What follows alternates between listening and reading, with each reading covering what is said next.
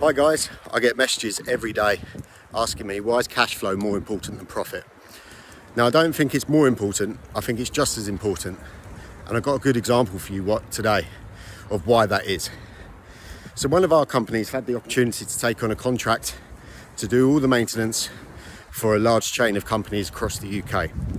They subcontract all this work out and they get it at a fantastic margin. So let's say that margin's at 50%.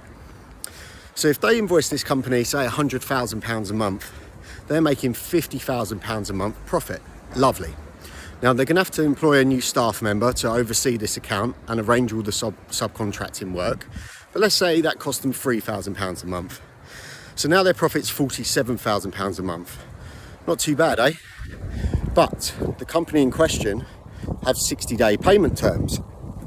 So by the time you make your £47,000 profit on this contract, you have had to pay your staff member to organise the contract £3,000 a month twice because it's two months, 60 days, and you've had to pay the subcontractors to do the work who are on 30 day payment terms twice.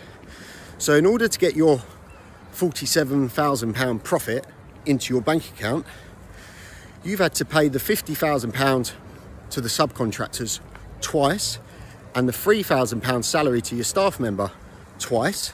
So in order to get your £47,000 profit, you've had to pay £106,000. Where's that £106,000 coming from? And that is the difference between cash flow and profit. Do you have those funds in your account? Do you have an overdraft? That is why cash flow is so vital. It's going to cost you over £100,000 just so you get your first £47,000 in.